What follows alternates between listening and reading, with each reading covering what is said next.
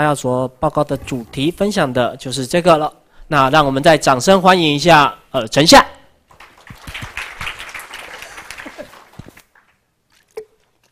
呃，谢谢大家。呃，这是我们的简报，所以我会尽快。呃，今天讲的题目是自由软体授权资讯的标示跟 SPDX 哦。那么，其实大家今天可以叫我冬梅哦，因为 COSCUP 的那个这个说明手册把我跟冬梅是搞混的。哦，不过不过明天以后麻烦大家叫我城下哈。那这张照片呢？呃，今天有很多人问我说，这张照片是什么时候照的？呃，这张照片是我十年前的，是十年前的我哈。那今天我拿这个照片来做一个引子哦，就是十年前的我哦，现在可能长得不是一模一样哦，所以我们今天讲的图主题是自由软体的授权标示哦。那有时候你拿到 open source 的东西呢，它上面可能有些 copyright notice 哦，有些授权标示，但是当你在改写跟转手出去以后呢，它未必是保留原来的样子哦，你必须知道，呃，可你可能你做一些改变，那这些资讯必须要去 follow。哦，那不然呢，就是一个不实的标示哦，哦，就像我这张照片一样哈，这是十年前的。好，那我们这个不是一个技术议程哦，我们这是一个自由软体的一个法律授权的议程哈。那为什么特别在 COSCUP 讲这个议程呢？因为我们知道 Open Source 的专案哈，有很多的元件，你可能是抓别人 Open Source 的元件，你放在一个大专案里面，但是每个专案有不同的一个授权方式哈。那你如何合理跟合法的去运用这些元件在不同的一个大的专案里面哈？那他是有学问的。那这张表是那个 David Huyer 哦，这个作家哦，他应该是 GNU 计划里面的一个重要的成员哦。他回答很多 license 的问题。那这是他画出来一张表，就是 open source 的元件哦。当你抓到一个 open source 元件，你改写它或是 merge 它的时候，它怎么去演变哦？譬如说 MIT 跟 BSD 三款的哈，你可以把它改成 Apache 二点零的授权方式，你也可以再把它改成 LGPL 三哈。但是这个过程是不能逆转的，所以授权的相容性哈，有它一定的游戏规则。好，那我们今天的主题讲的其实是什么？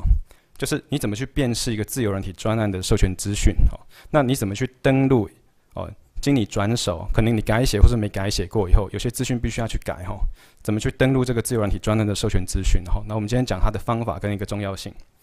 那呃，由于呃时间有限，所以呃，如果各位对我们的演讲内容呢有任何问题，你可以随时回呃举手哦，但是我不一定能够回答哦。那在会后的时候，我们还会待在这个地方，如果有兴趣的话，可以找我们来。好，那后续的联络这份简报呃会上网，那都有我们的联络资讯哦，有呃电子邮件，那有电话的一个联络资讯哈。好，那我们来讲一下呃自由软体这个东西哈，它的好处是什么？我们都知道，就是当别人已经写好一个好的元件的时候，你不需要重新去制造它的轮子，你不需要重新制造它的引擎，你可以用非常快的速度去把别人写好的专栏 build 在一起。变成一个新的 open source 的专案哦，你可以用很快的速度重新建立起一一个一台车子啊。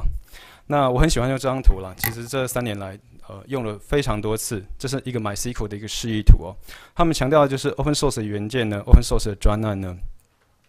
啊，你可以去把别人已经写好的东西组合在一起，做一个很好的 merge。那你可以专注你的心力呢，在写这一块你所需要的功能哦。所以这是一个 open source 的好处。那我们也知道。因为这样的好处，还有网际网络的发达，那这十年来，open source 的专案可以像是雨后春笋一般哦，它得到一个很大程度的成长哦。那这些都是一些著名的 open source 专案哦，大家可以作为参考一下。那 open source 的好处呢？它的强项在于哪里呢？一个是借力使力哦，往往打错字了。借力使力，借力使用其实也没有错了哈。借力使力，意思就是说，你可以站在别人的基础上面，把这个软体专案的发展的更好。那第二个方式呢，因为它是 open source 的，所以它是容许多人共工的哦。有版本控制系统的话，你可以透过网络跟全世界不同的人哦，同时来进行一个专案开发的合作。这是最大的两个优点哦，所以你这个城市码散布出去的话，你可能跟全世界的这个 Superman 的超人可以一起工作哦，一起共同工工作。但是呢，哦，但是就像我之前讲的，呃，Open Source 它不是公共财，它其实还是一个有著作权保护的东西哦，所以当别人把他的原件 release 出来的时候。它的授权条款就代表了它预设的游戏规则，那并不是所有的元件你都可以把它 merge 在同一个专案去使用哦。譬如说，我们这张图是一个示意图啦，那基本上 CDDL、EPL 跟 GPL 呢，它都是有 copyleft 性质的一个 license。所以随着这个元件释出来的话，没有办法让 CDDL 的元件跟 GPL 的元件 static link 或是直接 merge 再变成一个 binary code 哦。啊，所以如果你的专案里面呢有这些授权冲突的事情，那就必须要去解决哦。那要解决这个软体专案里面的一个授权冲突的问题，那第一步你必须要先查验专案的一个授权状态，你必须知道哪些授权元件之间是彼此产生冲突的。那在过去几年，呃，前年的 COSCUP 的演讲，然后今年的 OSDC 的演讲呢，我们有说过，呃，这样介绍过这样 Forceology 这个专案，哦，这个专案是。呃，可以去搜寻你这个档案里面，它 source code 形态里面有没有这个 copyright notice，那你就可以知道个别元件里面它的授权状态是怎么样。那 OSDC 的演讲中也有介绍过哦，Open Source License Checker 这套软体哦，那基本上它可以去查验你这个档案里面，可以用自动化或半自动化的方式去把一个大的自由软体专案里面这个授权的状态分析出来。那可是。这些东西呢，只是能让你看懂别人到底是怎么授权他的专案的。那现在的问题就是说，如果你自己原生新创的一个原件，你应该怎么去标示它的一个授权声明呢？那第二个方式就是说，你今天如果是改做别人的，可能你把别人 GPL 的 code 拿来改，Apache 二点零的 code 拿来改，BSD New 呃 MIT 的 code 拿来改，那你怎么去加注你自己的作权声明呢？或是你个授权声明呢？好，所以这个重点简简简单一句话就是说。你先拿了一个 open source 东西来改哦，那你在试出的时候，你应该怎么去标示这些授权资讯？那接下来我讲的其实就是常见的一个自由软体授权标示会出问题的地方哦，那可能就是它标示做的不是那么好的地方哦。那我们先讲讲做的不是那么好的地方，等下再来讲怎么去改善哈。所以常见的问题是，你的网站上面根本没有摆这个授权资讯哦。呃，这是大家现在很喜欢用的 GitHub 的一个 hosting 的平台哈，你可以在上面做 open source 专案的一个开发哈。那其实 GitHub 呢，它没有没有一个地方是特别让你放 license 的哦。那譬如说 Google Code 或是 SourceForge，其实有一个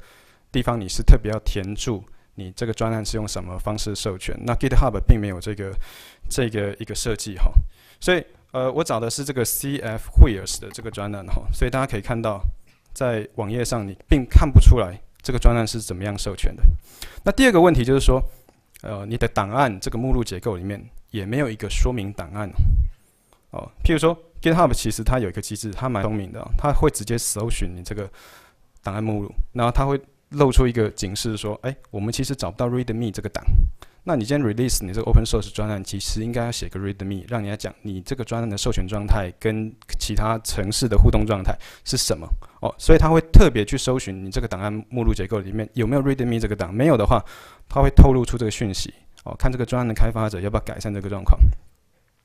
还有第三个标示不清的问题啊，就是说你这个中案档案呢，其实没有授权资讯哦，就是。你个别档案的 handle file 其实是可以 insert 一些重要的授权资讯，但是，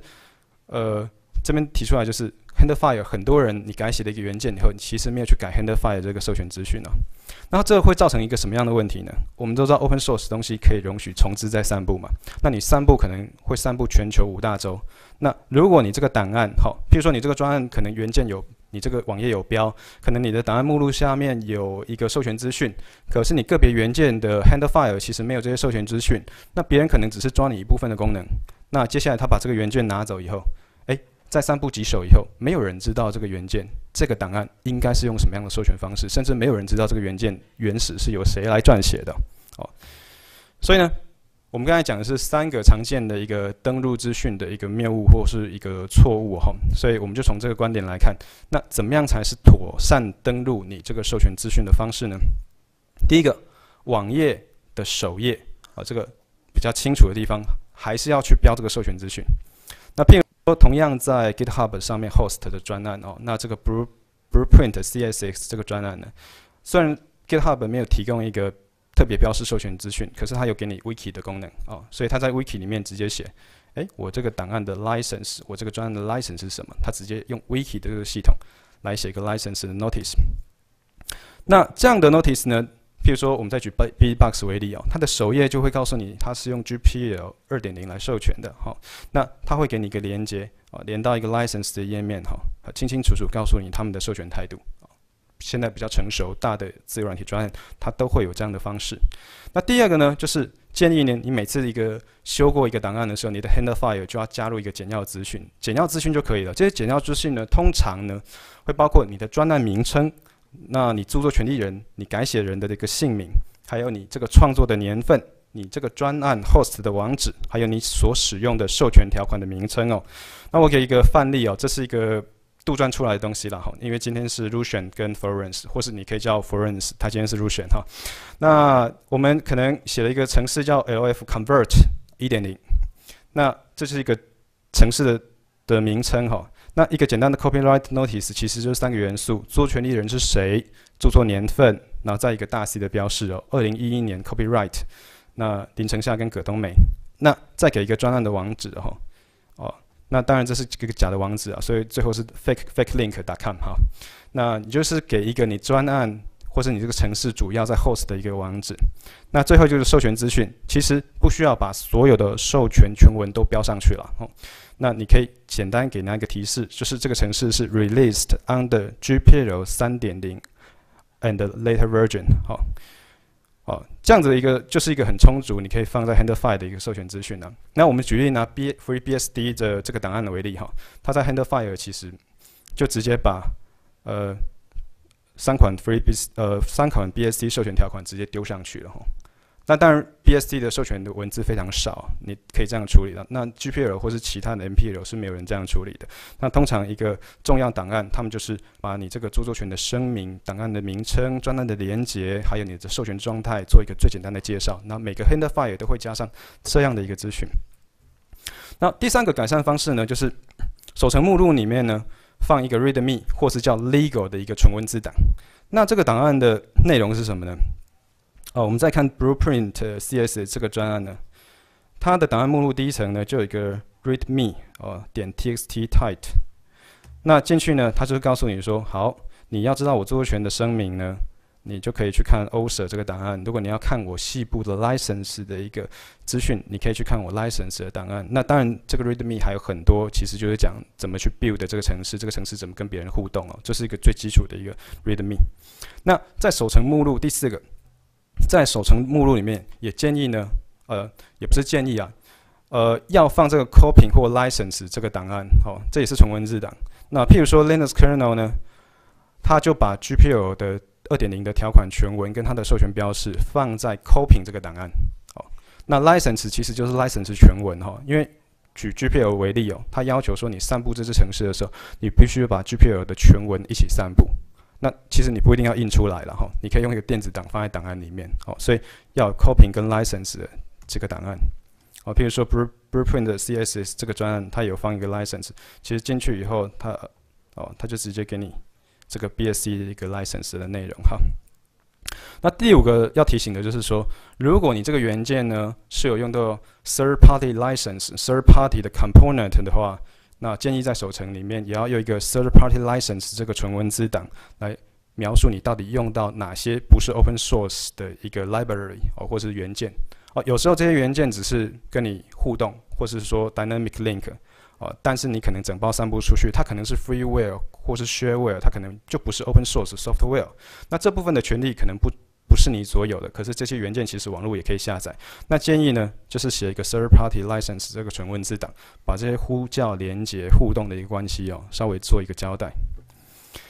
那讲完这个授权标识的问题呢，我们接下来讲的主题是 SPDX，它的全文是 Software Package Data Exchange。这个东西是什么呢？这个东西其实是 Linux Foundation 下面的一个子计划哦。那这个计划做的是什么呢？这个子子计划其实是很多的商业公司呢跟 Linux Foundation 来做一个合作。那包含 canonical bad duck、呃 HP、那 Motorola，呃，现在有一部分被 Google 买了，所以我把它划到一半的删节号哈。Open Logic、Paramida、呃 Source Editor 这些商业公司，他们觉得有这个需求，所以找上 Linux Foundation 来做这个子计划哈。那一句话来说，SPDX 是什么呢？就是业界共通的授权资讯的标示标准。哦，就是业界发觉呃用 open source 的东西，他们必须要知道别人是怎么标示的，他们也必须知道这个授权状态，在散布出去的时候，也必须要给下游厂商一个交代。如果大家继续要做这个 business 的话，必须上下游之间的权利义务关系去做一个厘清。所以刚刚我们讲的是一个简单的授权标识的重点，那 SPDX 其实就是业界正式的在做一个商业运用的时候，他们所定下的一个所谓的授权标识的规矩哦。哦，所以接下来这部分呢，我们就交给呃陈夏冬美来帮我们解释。好，谢谢陈夏哈。呃，大家这样听得清楚我的声音吗？后面的同。后面的人可以哈，OK 好，呃，接下来呢，大概就是由我来介绍一下 XPDX 这个计划哦。如同刚才陈夏所说的，这个其实是呃，大概业呃，大概国外的许多一些大的公司，他们在利用自由软体的过程当中，发现，在很多上下游链的这些产品的这整个交易的。过程当中，那授权资讯其实会标示的很不清楚，那甚至有些没有标示，会造成他们的产品在卖到市场上的时候会有一些侵权上面争议。所以，大概从去年的呃去年初开始的时候，大概就有许多的大厂集结在一起，然后来发起来制定这样子一个标准计划。那这个呃计划大概一直进行到现在一年多了，一直到昨我看今天是二十号嘛。然后到八月十八号正式的在呃前天在那个 LinusCon 哈呃 North America 在加拿大举办的这个活动，他们正式试出了第一版的规格书哦。那这个其实是一个相当呃相当重要，而且我个人认为觉得我我其实觉得呃蛮高兴看到一件事情哦，因为这个规格书书。制定出来之后，不仅是对于整个的呃业界用自由软体有相当大的注意，其实对于自由软体的社群来说，这是一个表彰他们一个名声、一个很好的一个制度。那自由软体开发者这么无私的把他们的 code 贡献出来，那应该要大家要依照这些授权条款，还有他们所应该想想要的方式哈，然后让大家来利用，然后并且把他们的名声也标示出来了。所以这个呃，在八月十八号的时候已经试出了。那这个 Expedex 计划，呃，预计他们希望能够达到效果是能够提升这个自由软体未来在各个角落哈各个产品上面，或者是说呃不管是在哪一个各界方面的流通的速率，大家能够方便利用它，并且也同时能够降低呃产生侵权的争议哦。那这个 XPDS 规格书里面呢，其实到目前为止一年多了，制定非常的详细、巨细靡遗。我大概在点出三点，大概比较呃重要内容，为大家就是让大家大概知道个概念。有兴趣的话，可以之后再去详细看它的规格书哦。第一个当然就是它的软体，还有它的里面相关的个别的这些档案的资讯哦。那包括一些著作权的声明啦、授权条款这些直接和授权相关的资讯。那另外呢，还有当然就是套件这些软体套件名称、档案的名称，还有下载的位置，让人家知道它在哪里找得到。甚至还有就是你的这些软体或是档案，你有修改的话，它有提供一个呃自动对照的 checksum 的一个机制哦。那他们这些都有制定出来。在另外第二点呢，当然就是特别针对授权。呃，资讯相关的部分哦，他们还有制定一些更细部的一些内容呢。那其实最主要的，大家看我第二个这个蓝色这个地方哦，它是一个重整了一个授权条款的缩写表哦。那这个缩写表里面，就是把这些现在目前各界常用的自由软体的授权条款呢，他们有一套缩写的呃方式出来，主要就是以常见的。简写为首，然后加上一个半形的 dash，然后再连接一些授权条款、重要的呃资讯，还有它的版本别。举例来说，这个 GPL 啊的大家很呃蛮有名，大家都知道 GNU General Public License 二点零哦及其后版本，这是一个很常见的一个授权的标示哦。那在它的缩写表里面，它就简写成为 GPL。然后 dash 二点零加，那这个加呢，就是代表说及其后版本。其实这样非常简短，而且是制定下来，大家以后这样用的话，就非常的清楚，知道说这个软体是用什么方式来授权的。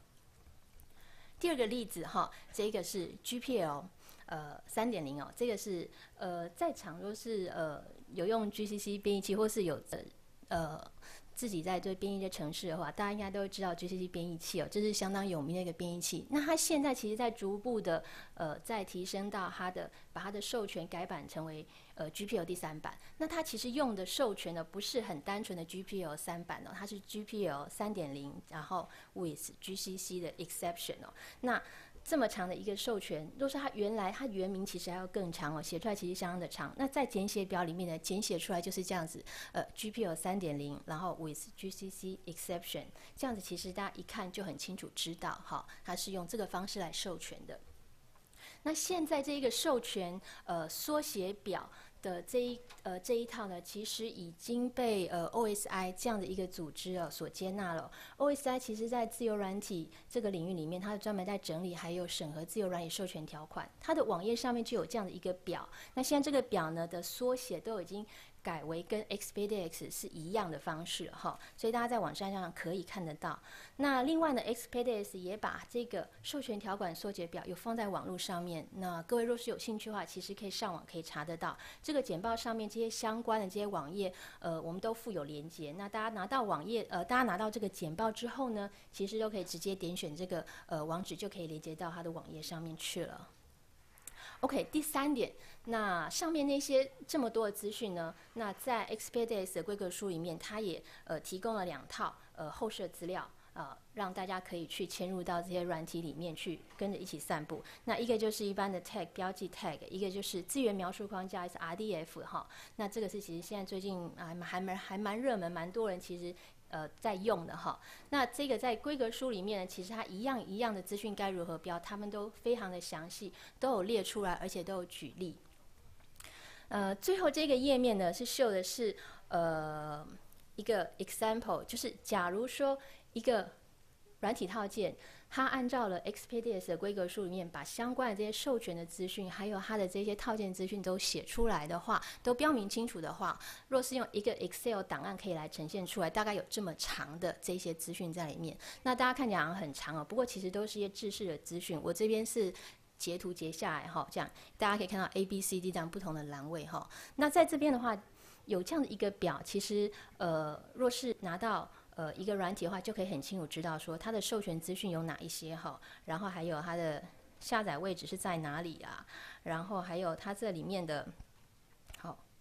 它里面所宣布用的授权条款是哪一些哈，然后还有一些呃可能的一些授权条款资讯都非常的清楚哈。那在这边的话，大家就可以很清楚知道。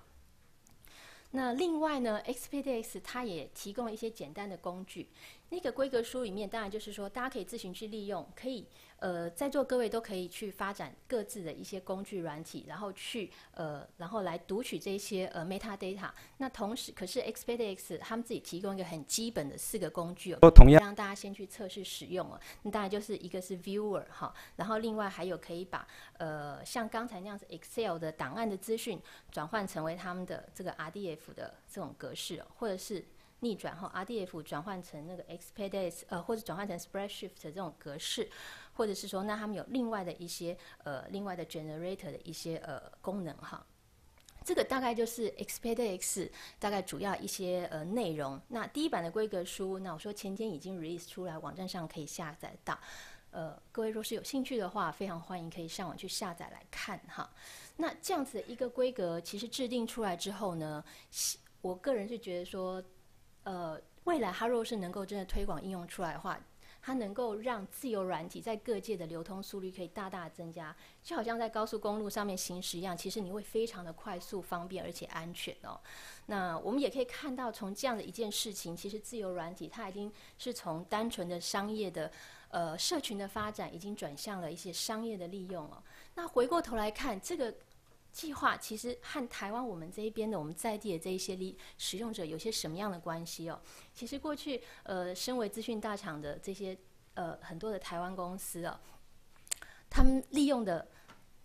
自由软体的承诺其实非常的多，而且深。可是很大问题是，他们了解的非常非常的少。那所以在呃，我跟陈夏在工作上面所常常会接触到一些，就是大家不了解这些资讯该怎么样去标示，该怎么样去运用。好，你拿到之后也不知道该怎么办。其实那接下来有了这样的 X X 呃 SPDX 的规格书之后，跟着去做，其实是会非常的方便，而且便利。好，产业跟社群方面，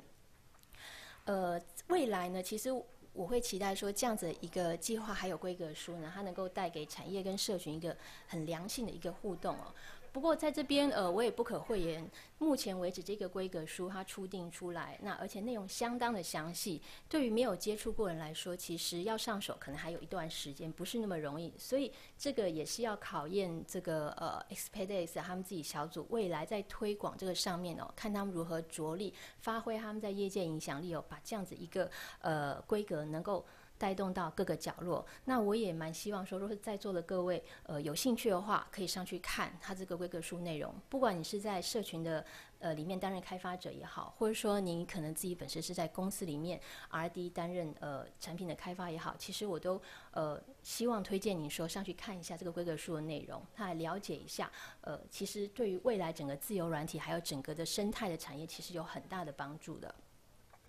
那以上的内容呢？呃，不管是程下讲的也好，或是呃我我所介绍这个部分也好，若是大家有问题的话，非常欢迎之后再跟我们联络。那这边秀就是我跟陈夏我们办公室的电话号码，那也非常欢迎，就说跟我们这边 OSSF 的 Legal Team 来联络哈。那这份简报，大家要上网找的话很简单哦。进入到 Google 搜寻页面，那你打入 Open Legal 跟 Open Foundry 这两个关键字哈。那 Open Legal 是我们在这个 Open Foundry 上面所开一个专案哦。那接下来你就会找到进入到一个页面哈。那这个是 Open Legal 页面，上面有个下载区。那这个下载区呢，你就按 Control F，然后打入今天的日期二零一一零八二零，那你就可以找到这份简报。那有 ODT 档，有 PDF 档，好，大家欢迎大家去自由的下载哦。那同样的，今天呃，我们在这边介绍内容呢，在下一个礼拜我们要发行的电子报，那有一篇法律专栏的文章里面，也会把今天的这些内容呃写在文章里面。那大家也可以有兴趣去的话，可以再到我们的电子报来阅读这篇文章。好，好，那接下来呢，嗯，有一段的呃，这一个要介绍的是一个呃，我们最近同仁在发起的一个。呃，新的东西呀，那叫台湾开源法律网络哈。这个其实跟 x p e d i s 还有呃，我们一直在做的一些这个法律的咨询还有回答，其实有些关系哦。因为过去其实呃，我们做了很多的咨询的工作，然后在自由软体座堂的网站上面也有一个公开讨论论坛。可是我们发觉，其实有很多人呢，问题不敢公开的问，那他们会想要有一些群聚私下的讨论。因此呢，我们。呃，成立了这样子一个有这样一个发想哦，那成立这样一个台湾开源法律网络。那目前呢，这个这样一个网络呢，我们有一个简单的 wiki 的页面在网页上面哈。那它的网址其实很简单，就是 oslm 点 tw，大家上网打入这几个字，其实就可以看得到了。那若是记不住的话，可以欢迎到那个。铸造厂 OSSF 的摊位哦，在四楼上面，快要靠近大家中午用餐区的那个地方哦。那那边我们会有提供一个 barcode，大家可以拿自己的手机出来，那 barcode 里面就是我们的网址，扫进去的话，你就可以网址就可以记录下来了。那这一个简单的 wiki 页面，现在呃目前是还没有什么内容啦。我们。原始的想法发想是仿照呃欧洲自由软体基金会下面他们一个法律的讨论网络而来的。这个法律的讨论网络 European Legal Network ELN 哈，那它目前其实是呃全球最大的自由软体的法律跟授权的讨论的网络，然后有非常多的这些呃各地的律师啦，或者是关心授权的开发者在里面呢。那这个网络它。除了在讨论之外呢，他们若是有一些产出的话，那他们也会放到他们的 wiki 页面上面。像这个就是他们那个放置产出的一个 wiki 的页面哦。那透过这样子的，我们呃，我我们的同仁其实都有参与这个网络讨论了，是因此我们从这个网络的整整个运作而得到一个发想，说我们也来在台湾成立这样子的一个讨论的一个论坛哦，希望能够说促进大家资讯的交流。那这个论坛呢，我们采用的方式叫呃。Chatham House Rule，这个对于台湾的呃这边的开发者或使用者来说，可能比较陌生哦。那这个 rule 的意思是说呢，如果一个会议或是一部分呃或是会议的一部分是按照 Chatham House Rule 的方式来进行的话呢，那这个与会者可以自由的使用在这个会议当中的资讯哦，但是你不得透露演讲者或者是。其他与会者的身份还有所属机构哦，这其实就是一种你可以讨论，可是你也可以引用，可是你不能够泄露资讯来源。那透过这样的一个方式呢，呃，在论坛里面，我们希望能够提供给大家一个比较安心的一个讨论的环境，大家可以畅所欲言。那这些资讯呢，大家可以让别人用，可是你的身份跟你的代表机构不会被透露出去。好，所以呃，我们希望能够说这样能够呃激起比较多的人在台湾这边能够来讨论呃。台湾属于我们台湾这一块需要去解决跟面对的自由软体，呃，在授权上面碰到一些议题，我们也希望能够去解决它。希望透过这样的一个论坛，好来来能够来集结各界的人哈。那目前这个网络跟架构的运作方式，其实我们也还在呃讨论跟规划当中。Wiki 页面出来了，那我们也很欢迎说。对这个有兴趣的各界的呃，不管是法律背景，或是工程师，或是你是社群的参参与者、开发者，对这个议题有兴趣的话，其实都欢迎跟我们联络哈。那 email 呃，就是城下 email 哈，lucian d cc 小鼠 gmail dot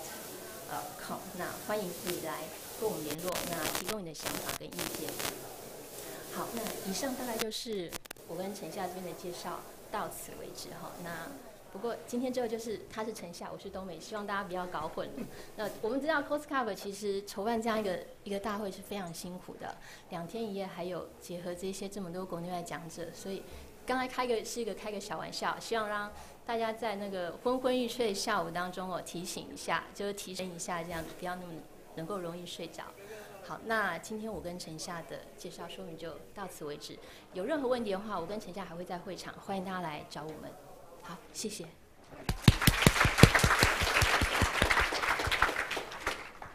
哦，感谢 OSF 的伙伴带来这个哇，关于法律的问题，感觉好可怕，也感觉很实际，就是未来。